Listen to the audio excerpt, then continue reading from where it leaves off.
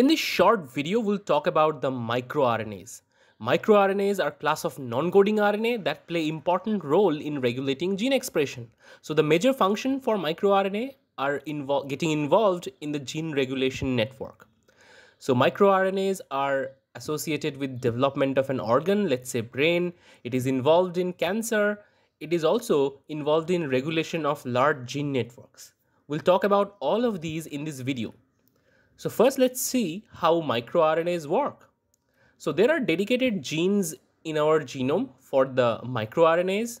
So these gene doesn't encode a protein, but they encode a microRNA. So the first transcript that comes out of these kind of genes are known as primary microRNA transcript. And these primary microRNA transcript get further processed with the help of enzymes known as DROSHA and uh, DGCR8 or PASHA. So the, the pre-microRNA transcript get further trimmed. Eventually, this particular pre-microRNA transcript would be moving out of the nucleus with the help of the exportin 5 complex as shown here.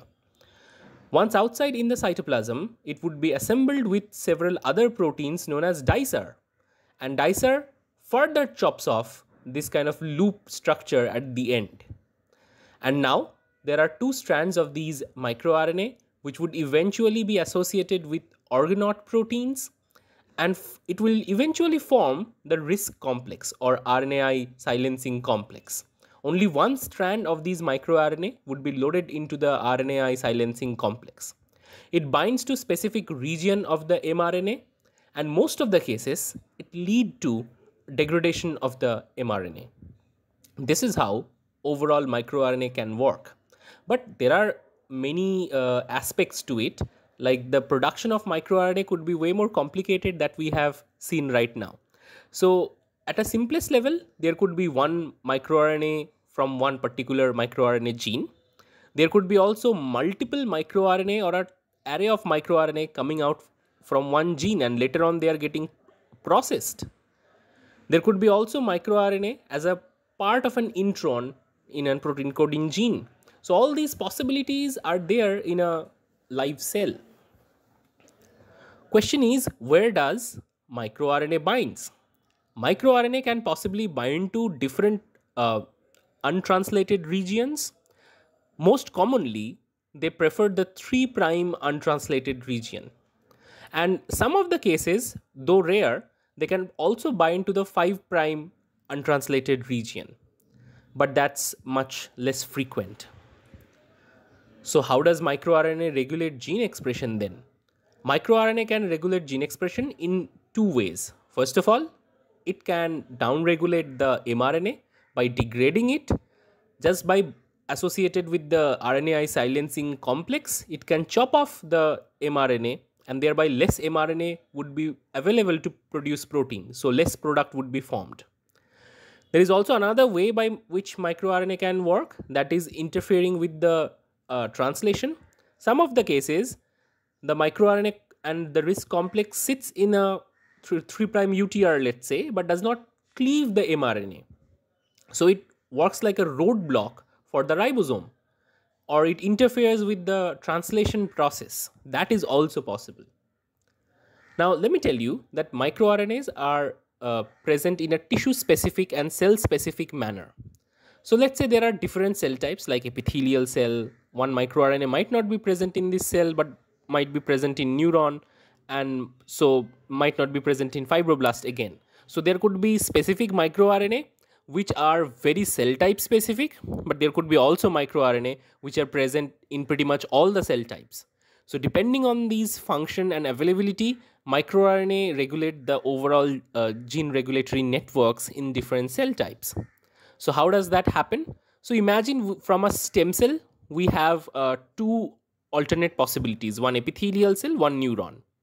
Now there are two master regulatory network here shown by master regulator 1 and 2. So these master regulators are transcription factor. And these transcription, each of these transcription factor regulates one particular gene expression module and each of these module actually suppress each other. That's why in the stem cell state, none of the fate is acquired. So one of the module has to dominate over the other module. This is how the uh, system is laid off. And here comes the microRNA. Imagine a microRNA, which is let's say microRNA X. This can suppress the master regulator network 2. So as a result, the master regulator transcription factor would be produced less. The gene module 2 would be poorly regulated or downregulated.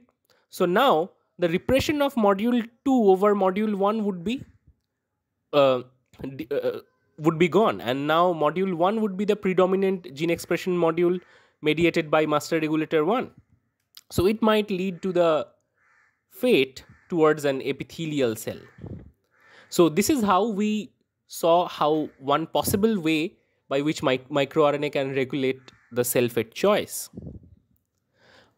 MicroRNA not only uh, is present in the cell but also present in secreted body fluids. For example, microRNAs can be found in cerebrospinal fluid. One example is microRNA 204. And it has been shown by scientists recently that microRNA 204 regulates the quiescence of uh, stem cells in the brain region. So it regulates the number of quiescent neuronal stem cells, and that is super important for brain development. MicroRNAs are also implicated in the context of cancer. Small RNA sequencing from the tumor samples has identified there are several several microRNAs which gets upregulated in a cancer sample. How does they regulate proliferation or cell division kinetics is something to note in the future years and but microRNAs are super important in context of many diseases including cancer. So let, let's ask that how one can study microRNA experimentally.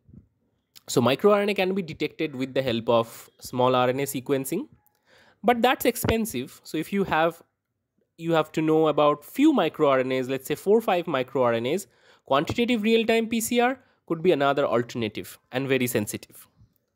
Also, fluorescence in situ hybridization can show you the intrinsic localization of a particular microRNA inside a cell. There are reporter assays as well. In this reporter assay, there would be a reporter gene like GFP. Underneath the reporter, the 3' UTR of a target mRNA would be provided. Anyway, this reporter would be eventually transcribed and translated to give rise to GFP. But imagine there is a microRNA which binds to the 3' UTR and degrades this particular this particular mRNA. So in that context, less amount of GFP would be produced. So by looking at the GFP fluorescence, one can get an idea about the regulation of microRNA for this particular transcript. And this is how one can possibly study microRNA in the lab.